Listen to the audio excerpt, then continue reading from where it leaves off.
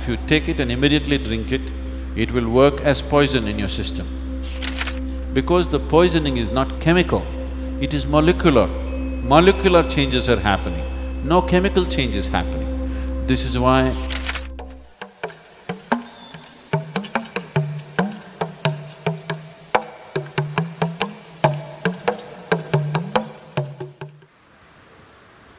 water is seventy-two percent. So maximum care should be taken about the water because it's seventy-two percent. If you are going to an examination, suppose uh, it is like this, let's say you're going for physics examination. You have water, earth, this, that, but just the water subject is for seventy-two marks. Naturally you spend more time reading about water, isn't it? Studying water, yes or no? Air is only six percent, you may not study because you are okay with ninety-four.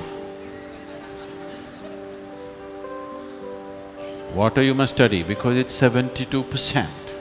You must take enormous care about the water because it's seventy-two percent and it has tremendous memory. If I open this water, even without opening, if I say something to this water, it remembers. There has been lot of experiments in this direction.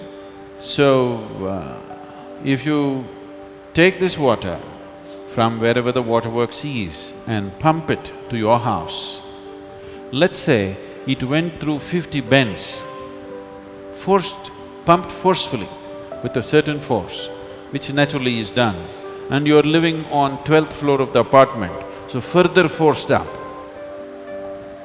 Now they are saying, if it goes through fifty bends, about sixty percent of the water has turned poisonous. Immediately when it comes in the tap, if you take it and immediately drink it, it will work as poison in your system. If you take it and hold it for some time, it will undo itself again. Because the poisoning is not chemical, it is molecular.